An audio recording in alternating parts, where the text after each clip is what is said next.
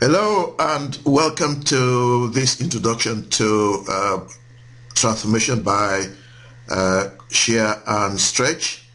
Uh, the keywords will be uh, transformation, shear or shearing, stretch or stretching, uh, invariant line, scale factor and displacement. Okay, now this diagram shows uh, the object in green being transformed by shear parallel to the x-axis. And a few things to note there is that the, the coordinates of the object on the invariant line or the x-axis is the same as the coordinates or the values of the parallelogram on the invariant line. So on the invariant line, the value of the coordinates of the objects and the um, image do coincide. Okay, uh, this is called or sometimes referred to as horizontal shearing as you can see. The, the y values uh, remain the same for a given point and the x values do move.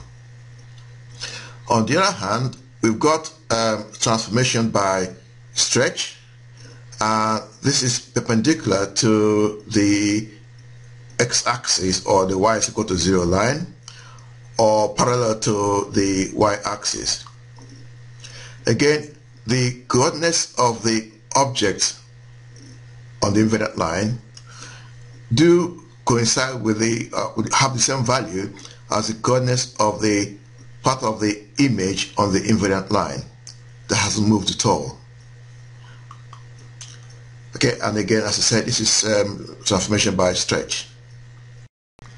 Okay, now on this slide, I shall attempt to um, show some of the properties of um, um, transformation by shear and transformation by stretching. Okay, now the green object, the green shape is a square and the area is 4 square units. The transformed image is a par parallelogram and the area is also 4 square units because uh, the height is 2 and the base is 2. 2 times 2 is 4 square units. Now for displacement we measure from the uh, from the point in question to the corresponding point on the image. Uh, in this case it is 4.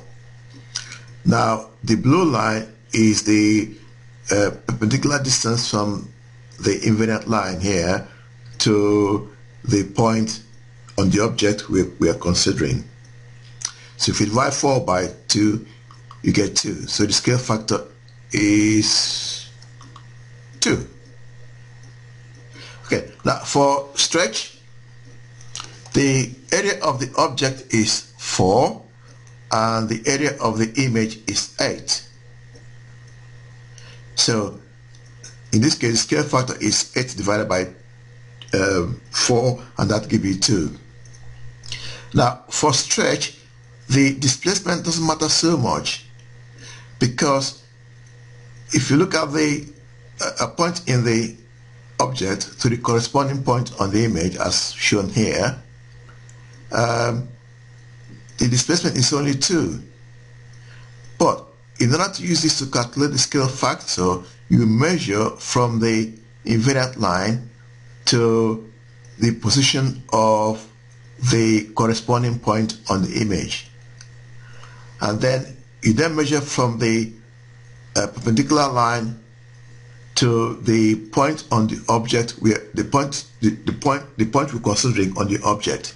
In this case 2 so if you divide 4 by 2 you get 2 so the scale factor is 2 it is important to note how we measure a scale factor uh, on stretch and scale factor in or by shear. For shear, we are looking at the point on the object to a corresponding point on the image. Now, we don't do that on stretch.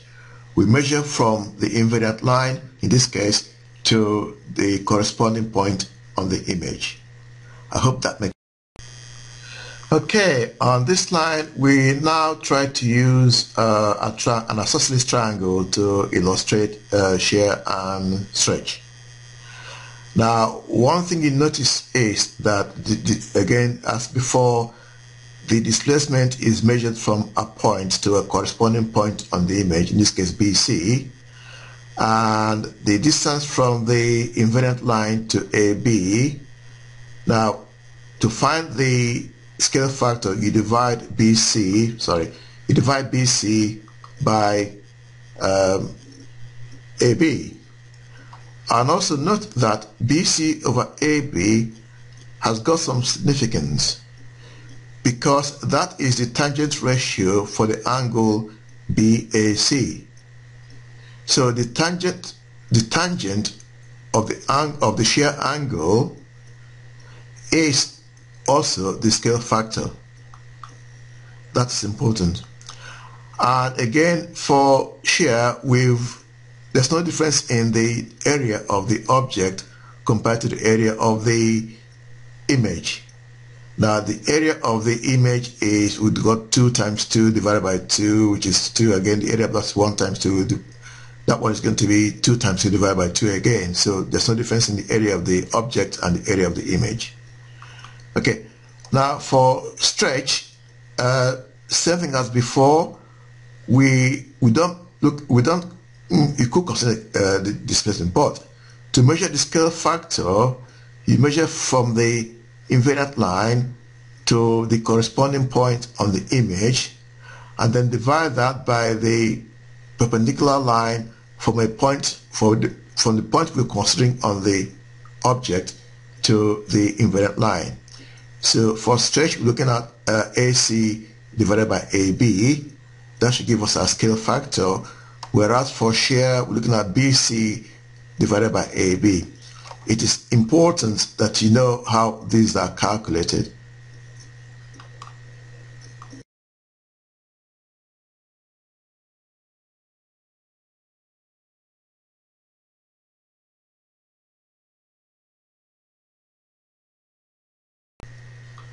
Okay, now on this slide, we've now moved the object away from the invariant line, this, the, the x-axis or the, the line y is equal to 0. We've now moved from that to the, the line y is equal to 1. And you will notice that because we've now, we've now moved away from the x-axis, the the, the, the, the, points that were on the on the x-axis in the previous slide have not got a value for the image. And this is because um, your displacement is a product of the scale factor and the y value. Now, if y is 0, uh, your scale factor times 0 will give you 0. Hence, if hence the image position did not change. But now we've got to change because we've got a value for y. y is greater than 0 this time around. So we've got a value for y, for, for um, the corresponding points on the image. Okay. Also note that we measure the scale factor by dividing this displacement by the perpendicular distance from the object from the point of the object we're considering, from the point we're considering on the object. Okay, so in this case it's 2 over 1. Also note that the um, the area has not changed even though we moved away from the x-axis. Like the area of the square here is 1 and the area of the uh, parallelogram is also 1 because 1 times the base 1 is 1 square unit. Okay? Now, for the uh, for stretch, we again look at the corresponding uh, corresponding points. Okay, even though the displacement is only one, we do not use that to calculate our scale factor. Instead, we move we measure from the invariant line to the corresponding point on the image and divide that by the perpendicular distance from the invariant line to the point or the object we're considering. In this case, 1. So the scale factor is 2 divided by 1 and the answer should be 2. Again, note that area is again doubled. So for, for the image, we've got 2 square units and for the object, we've got 1 square unit. Uh, I hope that makes sense. Right, now this time around our object is, uh, or part of our object is lodged on the y-axis or the x is equal to 0.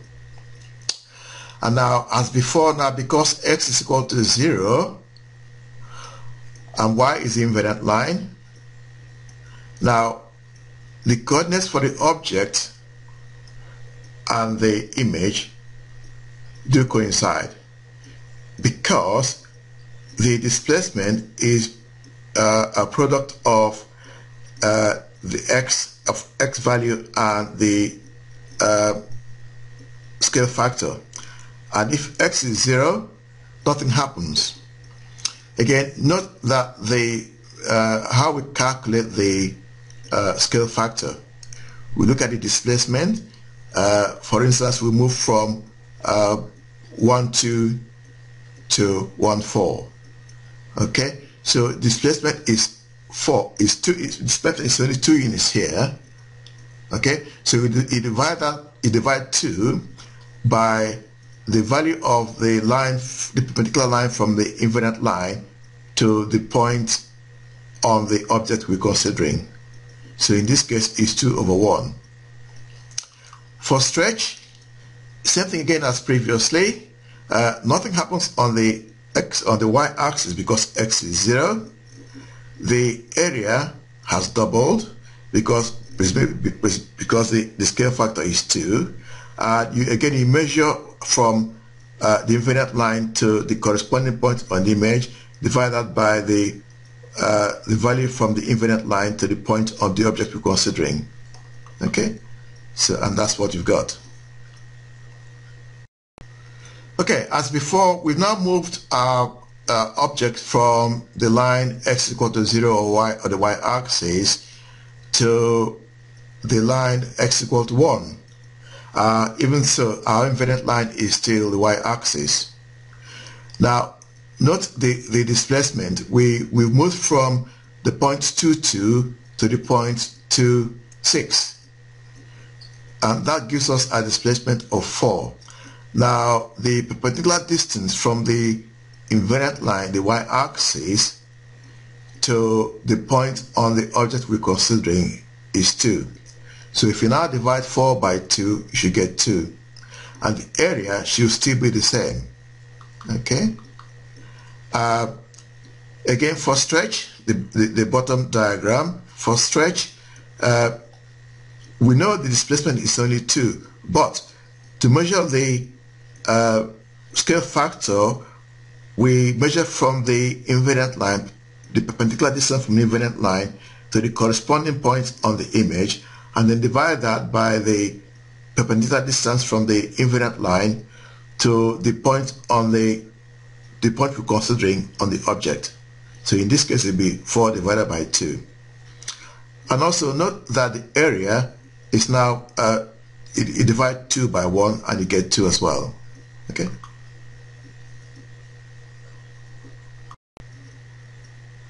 Okay, some exercise for you to try. Now, uh, the triangle uh, with vertices 2, 1, 5, 1, and 5, 3, uh, the, those points have undergone a transformation to um, 2, 2, 2, 5, 6, 5, 8, respectively. Now, your job is to find out whether this is transformation by shear or by stretch and what the scale factor is. And if it's by shear, can you try and do the same exercise for stretch? And if it's by stretch, try and do the same exercise for shear. Uh, okay, using the, using the same scale factor and the same invariant line. Hope that makes sense. Okay, some work for you to do. Uh, I've got the two top diagrams are uh, a result of uh, shearing by, uh, sorry, the result of transformation by shear. And can you find out what the um, scale factors or what the scale factors are for both anyway. Okay, and then see if this uh, little uh, formula, this, this, little equation makes sense. Now x prime is the value of x uh, for the image and x is the value of x on the object. Now y is a uh, is a perpendicular distance from the point on the object to the invariant line. Okay, y is the perpendicular distance from the point of the object to the invariant line. And for stretch, similar thing again. Uh, can you try and find out what the scale factor is? All right, and then try and see if you can match this here. Uh, the the new y value is uh, a product of your uh, scale factor a and the uh, value of y on the object. I hope that makes sense.